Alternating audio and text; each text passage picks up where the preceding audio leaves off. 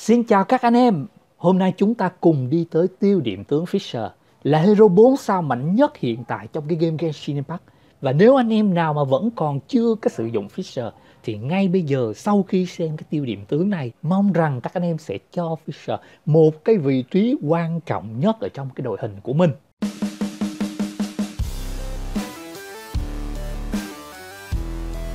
Fisher tên thật là Ami, tuy nhiên cô nàng luôn luôn muốn mọi người gọi mình là công chúa định tội Fisher. Cô đến từ một vùng đất tên là Đêm Niết Bàn và đi cùng cô là con quạ biết nói tên là Oz. Và vị trí hiện tại của Fisher, đó là điều tra viên cao cấp của Hiệp hội Nhà Mạo Hiểm. Và tại sao mình lại nói rằng cái con Fisher chính là cái con hero 4 sao mạnh nhất hiện tại ở trong cái game Genshin Impact. Và bây giờ chúng ta cùng đi qua phân tích cái bộ kỹ năng của Fisher nha các anh em.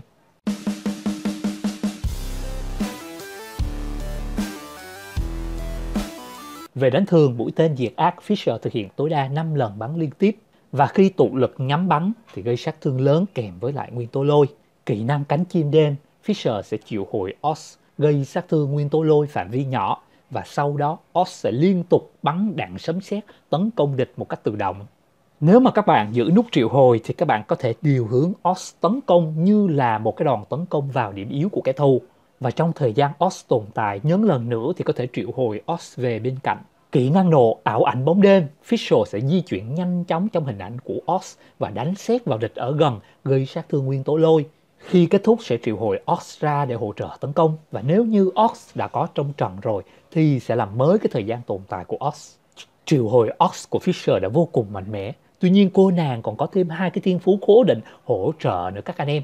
Thứ nhất là ác điệu nước sao là khi dùng tụ lực nhắm bắn trúng Ox, Ox sẽ giáng xuống một quả báo sấm sét vào kẻ địch xung quanh, tạo thành sát thương phạm vi nguyên tố lôi tương đương với 152,7% sát thương khi bắn. Và thiên phú tiếp theo, ánh xét định tội. Khi Ox đang trong trận và nếu nhân vật tấn công gây phản ứng nguyên tố lôi thì sẽ giáng quả báo sấm sét gây cho địch sát thương nguyên tố bằng 80% lực tấn công của Fisher. Rõ ràng hai cái nội tại thiên phú cố định của Fischl hỗ trợ cực kỳ hiệu quả cho Oz. Và chưa phải như vậy là tất cả đâu các anh em. Chúng ta còn có cung mệnh nó hỗ trợ cho Ox. Cung mệnh một mắt quà huyền bí. Ox sẽ hỗ trợ Fischl tấn công. Cung mệnh hai đôi cánh phán quyết. Khi thi chuyển cánh chim đêm, có thể gây thêm sát thương với lực tấn công 200%.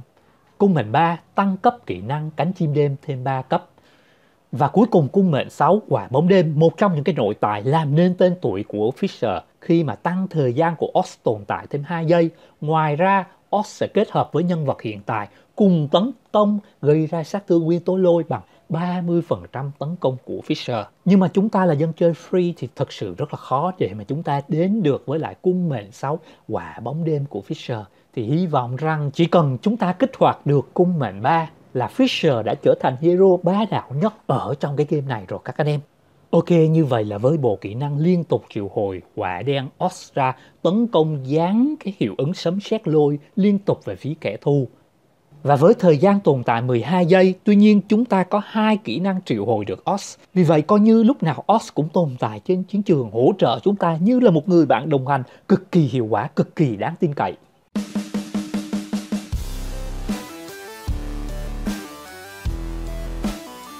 Về hướng bill thì hiện tại Fisher sẽ có hai hướng bill. Hướng thứ nhất là hỗ trợ sát thương nguyên tố lôi. Thì cái hướng này chúng ta sẽ đẩy sát thương của hai kỹ năng cánh chim đêm và ảo ảnh bóng đêm của Fisher lên cao nhất có thể. Tại hướng bill hỗ trợ sát thương nguyên tố lôi thì chúng ta sử dụng một trong hai cây vũ khí.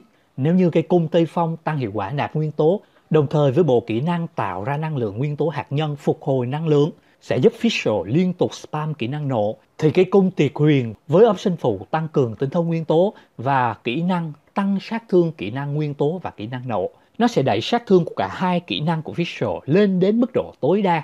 Còn về thánh dị vật cho cái hướng điêu hỗ trợ sát thương nguyên tố, thì cái bộ trấn phá như sấm thịnh nộ thì cực kỳ phù hợp với bộ hai món tăng 15% búp sát thương nguyên tố lôi và bộ bốn món tăng những cái phản ứng nguyên tố với lại lôi và đồng thời mỗi khi tạo ra phản ứng nguyên tố thì cooldown kỹ năng của nguyên tố giảm đi một giây. Còn nếu như mà các bạn muốn spam kỹ năng nộ thì mình đề xuất các bạn sử dụng bộ nghi thức tông thất cổ với bộ hai món tăng sát thương kỹ năng nộ tạo thành tăng 20% và bộ 4 món sau khi thi triển kỹ năng nộ tấn công cả đội tăng thêm 20% kéo dài 12 giây. Còn về chỉ số chính của bộ thánh dị vật, đối với lại hướng bill hỗ trợ sát thương nguyên tố, thì đối với cái đồng hồ thì mình đề xuất các anh em, chúng ta sẽ lấy option tăng hiệu quả nạp nguyên tố hoặc là option phần trăm tấn công.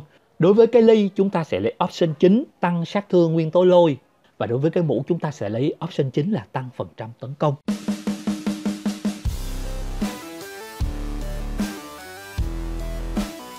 Về vũ khí cho hướng build DPS thì các bạn hoàn toàn có thể sử dụng những cái cung năm sao hoặc là cây cung sắc xanh để nó tăng cường cái tỷ lệ bạo kích ở trong cái nhật ký hành trình. Tuy nhiên mình đề xuất các anh em hướng build này chúng ta nên sử dụng cung thép với option phụ tăng sát thương vật lý và với kỹ năng cộng dồn tăng cường tấn công và tốc độ tấn công. Đồng thời chúng ta có cung mệnh của Fisher bổ sung sức mạnh sau từng cú đánh. Thì với cách build này thì Fisher không khác gì mà súng máy liên tục nã những cái phát liên thanh về phía kẻ thù. Còn về thánh dị vật của cái hướng build DPS thì mình đề xuất các anh em mình sẽ sử dụng mix giữa hai món bộ cuồng chiến tăng 12% tỷ lệ bạo kích và hai món của bộ lễ bế mạc của giác đấu sĩ tăng 18% tấn công. Còn về option chính của bộ thánh dị vật theo hướng build DPS đối với cái đồng hồ và cái ly thì các anh em sử dụng option tăng phần trăm tấn công. Còn đối với lại cái mũ thì các anh em sẽ sử dụng option tăng phần trăm sát thương bạo kích.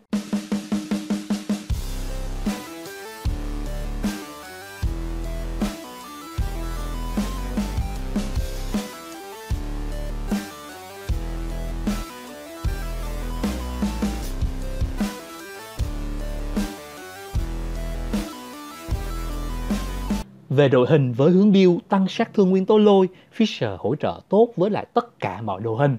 Với việc liên tục triệu hồi Ox gây sát thương nguyên tố lôi thì hỗ trợ cực kỳ tốt cho tất cả những cái DPS hiện tại như là Diluc, Kachin, Klee, Shangling, Bennett, Chongjun và Razer và đặc biệt với cái việc tạo hiệu ứng siêu dẫn với lại hero băng gây giảm kháng vật lý rất phù hợp với lại những cái hero DPS tấn công vật lý ví dụ như là Razer và với đội hình Fisher làm DPS chính thì chúng ta hoàn toàn có thể sử dụng vị trí một là Beidou hoặc là Lisa cộng hưởng nguyên tố lôi mạnh mẽ. Khi kích hoạt phản ứng nguyên tố với lôi thì sẽ rơi ra nguyên tố hạt nhân lôi, nạp năng lượng nguyên tố cho Fisher và Beidou. Beidou là một trong những hero kỹ năng nổ cực kỳ mạnh mẽ nhưng mà cái khả năng nạp nguyên tố rất là chậm vì vậy cho nên Fisher sẽ hỗ trợ Beidou nạp nguyên tố Vị trí thứ hai chúng ta có thể sử dụng Keia hoặc Chi Chi để phá kháng vật lý.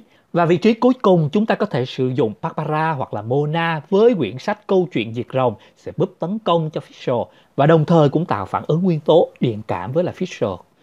Ok, như vậy Fisher là một trong những hero với tạo hình ren cực kỳ quyến rũ, với sức mạnh đa dụng, vừa có thể tự tấn công hoặc là cũng có thể hỗ trợ đồng đội bằng cách gọi Oz liên tục tấn công. Thì như vậy Fisher đối với mình là một trong những hero 4 sao không thể thiếu trong mọi đội hình.